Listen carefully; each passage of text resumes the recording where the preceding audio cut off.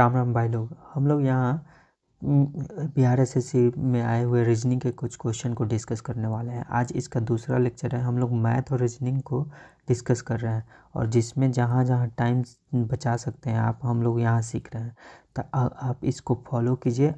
आपको पूरा पूरा पूरा पूरा रीजनिंग मतलब जितने भी अच्छे क्वेश्चन हैं और एक्सपेक्टेड क्वेश्चन है, जो भी है, आ सकते हैं, उसको भी हम लोग सीखेंगे और बहुत अच्छे तरीक़े से सीखेंगे। तो चलिए आज का लेक्चर शुरू करते हैं और उसमें फ़र्स्ट क्वेश्चन है इजी क्वेश्चन से शुरू करते हैं और लास्ट तक कुछ अच्छे अच्छे क्वेश्चन भी हम लोग सॉल्व करेंगे। तो फ़र्स्ट ईजी क्वेश्चन है, इसमें क्या किया हुआ है?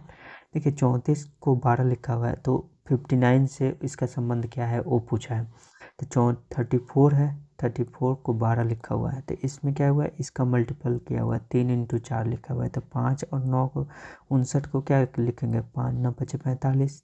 तो ए आंसर आपका सही हो जाएगा, फ़र्स्ट ए ए आपका सही हो जाएगा। दूसरे क्वेश्चन पे बढ़ते हैं। दूसरा क्वेश्चन है, देखिए, दूसरा क्वेश्चन में है कि एक घड़ी है, घंटे की सुई सुई छः बजे शाम के समय उत्तर दिशा की ओर है। उसमें नौ पंद्रह रात्रि के समय मिनट की सुई की दिशा का संकेत क्या होगा? अब देखिए, घड़ी बनाइए। अब देखिए, इसमें सीखने वाला बहुत सारा चीज़ है। अगर आपको पता होगा तो तो सही है, नहीं तो देखिए इसको सीखिए कैसे। ये ईस्ट होता है, ये वेस्ट होता है, ये नॉर्थ होता है, ये साउथ होता है। एक घड़ी बनाइए। अब कह रहा है कि घड़ी शाम छः बजे, अगर घड़ी यहाँ पे यहाँ पे अगर छः रहता है, यहाँ पे बारह रहता है। तो शाम छः बजे का समय है उत्तर दिशा में। तो छः घंटा का सुई मतलब मतलब कि ऐसे होगा। तो एक घड़ी को कैसे? घड़ी एक सीधा बनाइए, ऐसे। यहाँ पे बारह है, यहाँ पे छः है, यहाँ पे कितना हो जाएगा? नौ हो जाएगा, यहाँ पे हो जाएगा कितना? तीन हो जाएगा। ठीक है? तो अगर छः बजे वाला छः बजेगा तो ऐसे बजेगा छः तो छः बजे जो घंटा का सुई नीचे वाला है छः पे रहेगा। लेकिन अब भी कह रहा है कि छः बजे शाम में घंटा का सुई उत्तर दिशा में है। तो उत्तर दिशा में छः कब बचेगा? जब छः ऊपर रहेगा। छः बारह हो जाएगा, नौ हो जाएगा, यहाँ पे तीन हो जाएगा। मतलब कि घंटा का सुई ऊपर और एक मिनट का सुई नीचे। इस तरीक़ा से हुआ। ये वाला तो ऐसे है, लेकिन हमारा जो क्वेश्चन बोल रहा है कि इस तरीक़ा से है कि छः का छः बजे वाला घंटा का सुई ऐसे उत्तर दिशा में है। तो बोल रहा है कि उसी, उसमें नौ पंद्रह रात्रि के समय कितना होगा? तो नौ पंद्रह कब बचेगा? घंटा का सुई इधर जाएगा? ये वाला घंटा का सुई जो हम पिंक कलर से बना रहे हैं, ये घंटा का सुई उधर और ये इधर हो जाए। ऐसे जाएगा नौ पंद्रह। तो बोल रहा है कि इस समय संकेत का मिनट के सुई का किस दिशा में होगा? तो मिनट का सुई किधर है? इस इस साइड में है। तो इस साइड कौन सा होता है? वेस्ट तो ये वेस्ट आपका सही हो जाएगा। वेस्ट मतलब पश्चिम पश्चिम दिशा में हमारा आंसर सही हो जाएगा। देखिए, इस तरीक़ा से ये हमारा ओरिजिनल रहता है कि इस तरीक़ा से, लेकिन हमारा जो क्वेश्चन में दिया हुआ है, इस तरीक़ा से दिया हुआ तो इस तरीक़ा से जो भी दिया हुआ है, इस, इसको अरेंज करेंगे और इस तरीक़ा से हम लोग निकाल लेंगे। आपको समझ में आएगा, नहीं समझ में आया तो इसको दोबारा देखिए दोबारा देखिए, नहीं, उससे भी नहीं समझ में आया तो फिर एक कमेंट कीजिए, हम फिर से इसको डिस्कस कर लेंगे। चलिए, तीसरे क्वेश्चन पे बढ़ते हैं। तीसरा क्वेश्चन एक सीरीज़ का है कि इसके बाद में क्या होगा? तो देखिए कि ज़ीरो, वन, तीन, छः, सात, नौ, बारह, तेरह, पंद्रह, अठारह, इसके बाद क्या होगा? तो ज़ीरो प्लस वन किया हुआ है, प्लस टू किया हुआ है, प्लस तीन किया हुआ है, फिर प्लस वन किया हुआ है, प्लस टू किया हुआ है, प्लस तीन किया हुआ है, plus one, plus two, plus three तो फिर से प्लस वन हो जाएगा। तो मतलब कि क्या हो जाएगा? उन्नीस हो जाएगा। एक, दो, तीन फिर एक दो तीन फिर एक दो तीन फिर एक दो तीन बढ़ते चल जाएगा। तो उन्नीस हमारा आंसर हो जाएगा। इसमें तो सीरीज़ में उन्नीस आंसर सही हो जाएगा। ये तीसरा हो गया चौथे क्वेश्चन पे बढ़ते हैं। देखिए चौथा क्वेश्चन है कि सैली के पास एक तिहाई और है जितने डेविड के पास है। डेविड के पास जितना था उससे एक तिहाई ज़्यादा है सैली के पास। उसके बाद है डेविड के पास एक तिहाई उतने ही है, है और हैं जितने फ्रांसीसी के पास। तो हमको पहले डेबिट इस वाले लाइन सेकेंड लाइन में पहुँचना पड़ेगा। इस वाले लाइन से हमको डेबिट का वैल्यू निकालना पड़ेगा। तो फ्रांसीसी को एफ़ लिखते हैं। एफ़ के पास एक्स है। तो डेबिट के पास क्या हो जाएगा? एक्स प्लस एक्स का बाद एक्स बाई थ्री यही ना कर रहा है कि डेबिट के पास एक तिहाई उतने और हैं जितने फ्रांसीसी के पास। तो फ्रांसीसी के पास एक्स था। तो डेबिट के पास कितना? X plus x by three हो जाएगा। तो मतलब क्या हो जाएगा? इसको सॉल्व करेंगे तो फोर एक्स बाई थ्री हो जाएगा। डेबिट के पास फोर एक्स बाई थ्री। और उसके बाद करें सैली के पास एक तिहाई और है जितना डेबिट के पास। तो सैली के पास कितना हो जाएगा? डेबिट के पास फोर एक्स बाई थ्री है, प्लस में four x by three into one by three. इतना है सैली के पास। तो सैली के पास टोटल अगर इसका एलसीएम लेके बनाएँगे, फोर एक्स बाई नौ।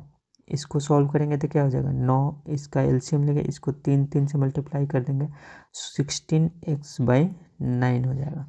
तो फ्रांसीसी के पास हो जाएगा एक्स डेविड क्या डेविड के पास हो जाएगा फोर एक्स बाई थ्री और सैली के पास क्या हो जाएगा? सिक्सटीन एक्स बाई नाइन अब इन तीनों का समेसन एक सौ ग्यारह दिया हुआ है।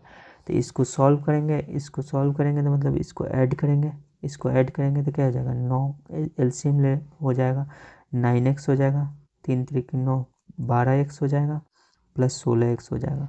तो इसको ऐड करेंगे तो कितना होगा? बारह आठ इक्कीस छः सत्ताईस सैंतीस एक्स सैंतीस एक्स डिवाइडेड बाई नाइन, सैंतीस एक्स डिवाइडेड बाई नाइन बराबर एक सौ ग्यारह, और सैंतीस दिया होता है एक सौ ग्यारह तो एक्स बराबर क्या हो जाएगा? नौ दिया सत्ताईस। ये ट्वेंटी सेवन आपका आंसर हो जाएगा। ये देखिए, एक सौ ग्यारह जो नंबर है ना, एक सौ ग्यारह, ये किसका मल्टीपल है? ये एक, ये मल्टीपल होता है सैंतीस इंटू तीन का मल्टीपल होता है। ये याद रखिएगा कि सैंतीस इंटू तीन बराबर सैंतीस इंटू तीन बराबर एक सौ ग्यारह, ये बहुत जगह आपका यूज़ दे देगा, बहुत जगह काम करेगा। तो ये सैंतीस इंटू तीन करके क्या हो ये केवल इसमें कैलकुलेशन है। इसको इसी तरीके से देखिए, इस कुछ कुछ क्वेश्चन कैलकुलेशन वाइज रहता है। ये मैथ का क्वेश्चन है। इसमें आ गया है। तो हम लोग इसी में सॉल्व कर लिए। तो देखिए मैथ का क्वेश्चन है, इस तरीक़ा से आपको इसमें सॉल्व करना ही पड़ेगा। इसका दूसरा ऑप्शन इधर उधर, अगर क्या बोलते हैं एलसीएम लेके चलते चले जाइएगा तो बहुत ज़्यादा प्रॉब्लम में फंसते चल जाएगा इससे अच्छा है कि सिंपल था। इसको जल्दी जल्दी मतलब जित, जितना जल्दी इसको सॉल्व कर पाए, इस, क्या बोलते इस जोड़ को सॉल्व कर पा रहे हैं तो जल्दी बन जाएगा आपका। केवल कैलकुलेशन तो है इसमें। कैलकुलेशन करिए और आपका आंसर निकल जाएगा। तो चलिए आगे बढ़ते हैं, पांचवा क्वेश्चन इस क्वेश्चन में क्या है? देखिए, इसमें भी सीरीज़ है। सीरीज़ है कितना? इक्यासी, चौहत्तर, सतहत्तर, फिर सतहत्तर, फिर तिहत्तर, अस्सी, उनहत्तर। इसके बाद वाला बताना है कि क्या होगा। तो देखिए, इसमें क्या हुआ? है इक्यासी माइनस चार, सतहत्तर माइनस चार।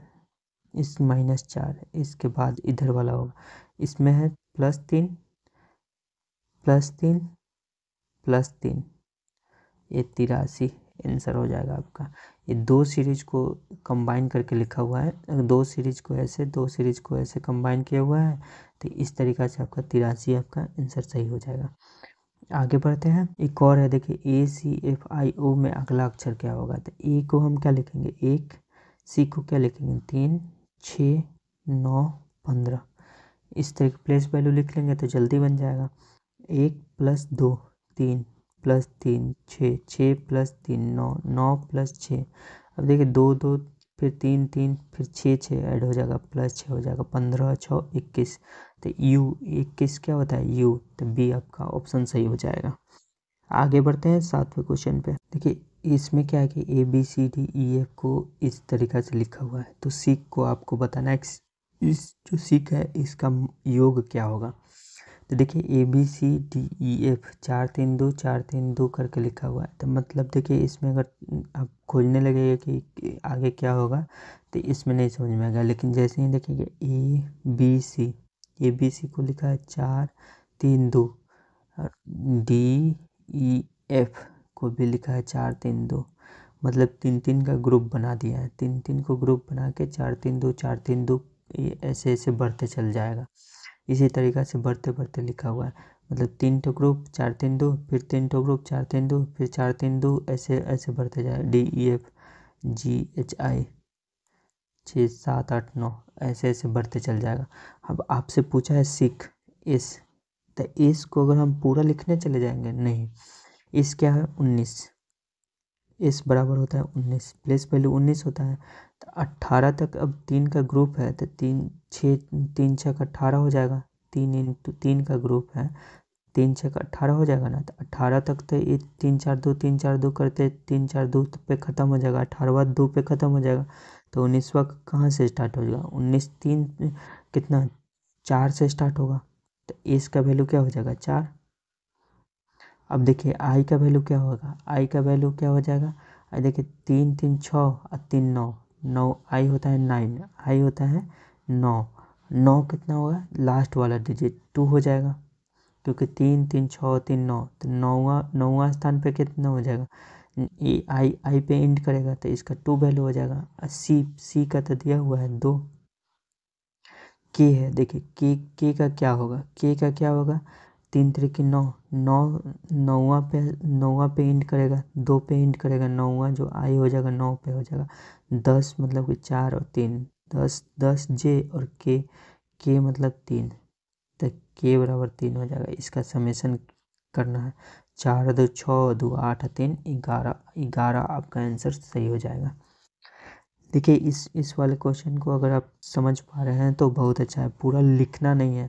क्योंकि तीन तीन का ग्रुप करना है। अगर आपसे पूछ देते हैं कि हमको आर का वैल्यू क्या होता है आर होता है अट्ठारह आर होता है अट्ठारह होता है ना तो आर अट्ठारह होता है तो तीन तीन के ग्रुप से बढ़ते बढ़ते जाएँगे तो क्या हो जाएगा? तीन तीन तीन लास्ट में जो बचेगा हमारा, क्योंकि अट्ठारह पे इंड हो रहा है तो टू हो जाएगा आंसर अब हमसे पूछ देते कि इक्कीस क्या हो बाईस क्या हो जाता है? बाईस।